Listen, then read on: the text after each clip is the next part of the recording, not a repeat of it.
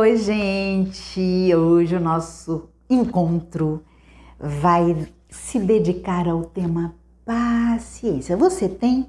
Você tem paciência? Você tem paciência com você? Você tem paciência com quem convive com você? Você tem paciência com quem não convive com você? Eu queria começar é, trazendo para vocês uma fala de Lucas, no capítulo 21, versículo 19 na vossa paciência possuireis a vossa alma. O que, que seria possuir a nossa alma? É, nós já conversamos com vocês sobre os aspectos conscientes e inconscientes. Quanto mais nós ampliarmos a nossa consciência, quanto mais nós ampliarmos a nossa condição de pegar a nossa vida em nossas próprias mãos. E quanto mais essa consciência estiver focada na necessidade de trilhar o caminho do amor, mais a gente vai se ter em nossas mãos. Quanto menos consciência eu tenho, mais eu sou refém de aspectos meus, anteriores, dos meus automatismos, da espiritualidade, né? Que é dos nossos irmãozinhos ainda em desalinho, que muitas vezes tentam nos manipular, de pessoas com as quais convivemos encarnados, né? Que tentam nos manipular também. Então, é, é na vossa paciência, na nossa paciência que nós vamos conquistar a nossa alma em nossas mãos. Segundo Lucas, né? E isso é muito profundo, muito profundo. Então, o que é paciência, né? Não sei se vocês já pensaram nisso. A paciência, ela está tá ligada à nossa capacidade de esperar e à nossa capacidade de nos autocontrolar. Só que eu posso ter a capacidade de esperar, assim, né? Eu tô esperando, né? Hum, ai, que raiva. Nossa, isso não vai parar, isso não vai acabar. Então, mas eu tô esperando posso ter um autocontrole diante de uma situação assim, espumando, mas eu tô, eu tô me controlando, né? É, é, o, o, sangue está saindo pelos olhos, né? A fumaça pelos ouvidos, mas eu tô me controlando. Ok. Isso não é paciência. A paciência é quando eu consigo aditivar a capacidade de espera e o autocontrole, a serenidade. Então, paciência é expressão da capacidade de espera serena e do autocontrole sereno nas situações de dificuldade. Vocês já haviam parado para pensar nisso? Agora, como que eu vou conseguir aumentar minha capacidade de espera? Primeira coisa que eu preciso pensar é a quantas andam a minha capacidade em me frustrar. Eu tenho a capacidade de suportar a frustração, de aceitar a frustração em relação ao que eu não posso ou em relação ao que eu não tenho direito de alterar? Eu já consigo entender que eu preciso me frustrar, porque a criança, isso nós já conversamos também um pouco lá atrás, né? A criança ela tem um limiar de frustração muito reduzido, porque o que rege a criança é o princípio do prazer. Ela quer prazer, né? ela prefere brincar do que está fazendo a tarefa de casa, o dever de casa, tá? Então, cabe à educação fazer essa criança desenvolver o prazer pelo dever cumprido, que é o que movimenta a gente na vida adulta, né? Ah, que satisfação quando eu tenho determinadas tarefas, me proponho a fazê-las e cumpro tudo aquilo que eu me propus a fazer. É uma satisfação, dá prazer, né? Então, Quanto mais o adulto consegue desenvolver o prazer pelo dever cumprido, em todos os aspectos, o dever em relação ao trabalho, o dever em relação ao próximo, o dever em relação a Deus, o prazer pelo dever cumprido, mais eu amplio a minha paciência, mais eu amplio a minha capacidade de espera serena diante das situações. Então, a infância dentro desse contexto reencarnatório, a criança e a nossa infância espiritual, elas têm características muito parecidas, né? Por quê? Porque para o espírito ainda pouco evoluído, ele também é regido mais pela lei, é, pelo princípio do prazer. Ele quer ter prazer. Ele quer ter o prazer de ver o que ele quer realizado, ele quer ter o prazer físico, ele quer ter o prazer emocional de ver aquela pessoa que ele não gosta passando dificuldades. Para ele é isso que o movimenta. Então, vamos avaliar como que está a nossa capacidade em lidar com a nossa frustração. Então, como eu disse, em primeiro lugar, a frustração em relação ao que eu não posso ou não tenho direito de alterar. Como que eu consigo isso? Desenvolvendo lenta e gradativamente a fé em Deus, serena. Sempre o sereno na frente.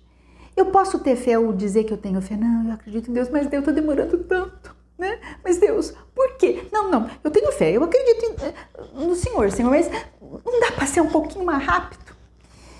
É, eu até posso já estar engatinhando nessa questão, nesse quesito fé, mas a fé verdadeira é a fé serena é a fé que aguarda exatamente o tempo de Deus em relação às situações.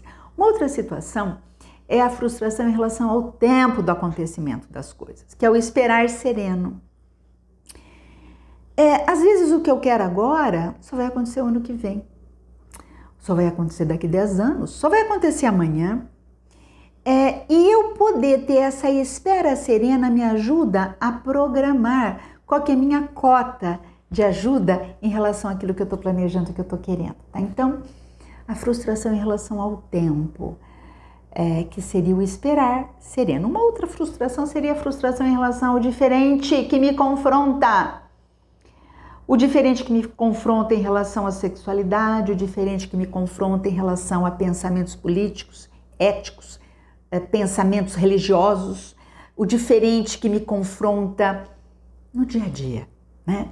É, eu preciso aprender a tolerar, mas eu preciso desenvolver o tolerar sereno, com paz no meu coração, né? Outra coisa seria a frustração em relação às minhas inabilidades, às dificuldades físicas e morais que eu tenho. Eu preciso ter uma autoaceitação serena em relação a isso, é, sem tentar me forçar a caminhar mais do que eu deveria ou aceitar o passo lento demais, né? Então é autoaceitação serena. Então, é, o esperar sereno seria a gente conseguir desenvolver a capacidade de se frustrar nessas questões que eu, aponto, que eu pontuei né, anteriormente. Agora, o que seria o autocontrole sereno? Entendam assim, nós temos uma energia que a gente chama de impulsividade. A impulsividade, ela está sempre atrelada a toda a ação que eu vou ter, toda ação, tá? Então, eu tenho um estímulo, um certo nível, grau, quantidade de impulsividade deve, deve estar atrelada a esse estímulo para que eu vá para a ação. Tem pessoas que têm uma impulsividade muito acentuada, tem pessoas que têm uma impulsividade menos acentuada. Então, por exemplo, a pessoa que, é que tem uma impulsividade excessivamente acentuada, talvez até um nível patológico, é aquela pessoa que nem pensa, é estímulo-resposta, né? são os automatismos muito acentuados, automatismos patológicos muito acentuados, tá? Por quê?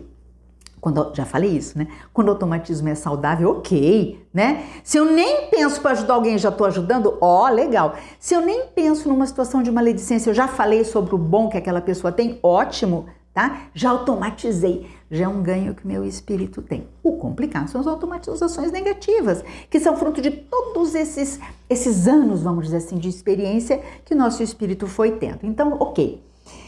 Quanto mais automa quanto maior esse automatismo, mais o grau de impulsividade, mais o direto e reto, mais o estímulo-resposta.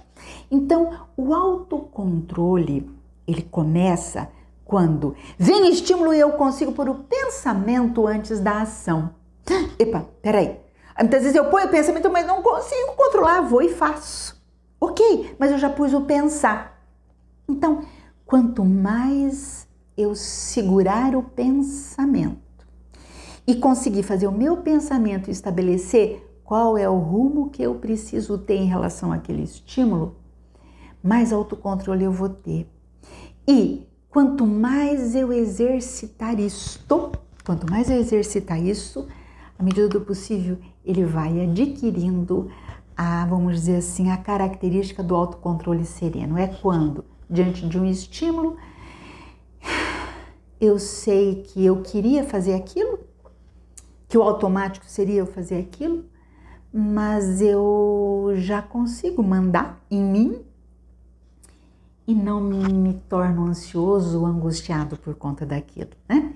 Eu já adquiri um autocontrole sereno em relação àquela situação. Então, é, quando, à medida do possível, eu consigo ampliar a minha capacidade de espera, levando-a a um patamar de serenidade. Quando eu consigo entender este processo do autocontrole e vivenciá-lo de uma forma serena, eu comecei a desenvolver a paciência, tá? Então vamos pensar nisso, né? Se eu espero serenamente, onde eu já consigo esperar serenamente? Se eu tenho outro controle sereno, onde eu já consigo ter? E se não, trazer a racionalidade, a consciência a este processo, tentando ampliar essas possibilidades. Por quê?